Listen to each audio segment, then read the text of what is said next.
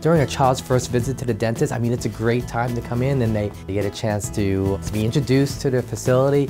I'm into allowing them to touch some things and to feel things, just get to know the environment and welcome them to the office like it's a new home. And we also will teach them how to brush their teeth. If their teeth are close together, we can help teach them floss. They'll see the hygienist, so they get a chance to also enjoy the facility and get more comfortable uh, coming in. That great experience at first visit is really most important to earn trust. That's what we're all about, trying to earn the child's trust.